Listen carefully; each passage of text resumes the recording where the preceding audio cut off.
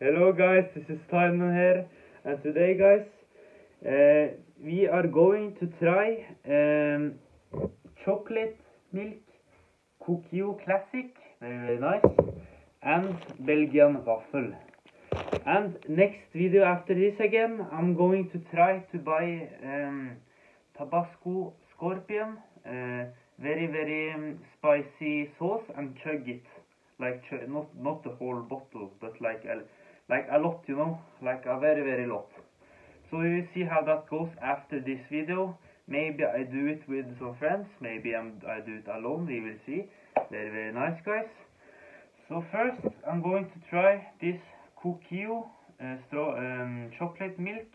I gave it to um, to my friend uh, downstairs, uh, like uh, a kid, you know, who is like visiting me. Very, nice. So now I'm going to try this and see how it tastes like. Very, very nice.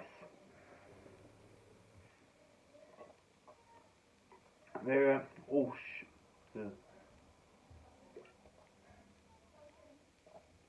Okay. This tasted a lot chocolate, very very much uh, chocolate, and uh, maybe too much uh, sugar. I don't know, man. It was very very nice. And now I'm going to try this Belgian waffle. Very very nice. You see how. Uh, look, uh, Bertas belgiske waffle. Very very nice. You try a bite of this. Very very nice. It's like Belgian uh, traditional uh, or something. I don't will see.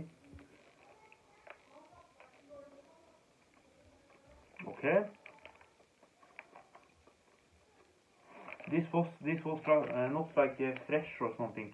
This is like been there for very very, very long time. But it's okay, man. I like it. So the combination between these two, I will give 10, and uh, this one I will give 6 because it's not that fresh, but it's okay. I mean, yeah.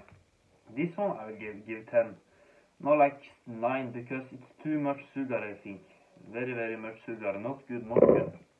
So, guys, see you guys next time. Uh, have a great, great uh, time. And see you guys next time. Very, very nice. Now I will close the season again. Very nice.